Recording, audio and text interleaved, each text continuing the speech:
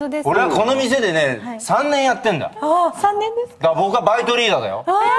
大丈夫かい、僕は休みの日にここに来てダクトを洗うよ。ダクトって何ですか？ダクトってダクトからか？世話の焼ける新人だぜ。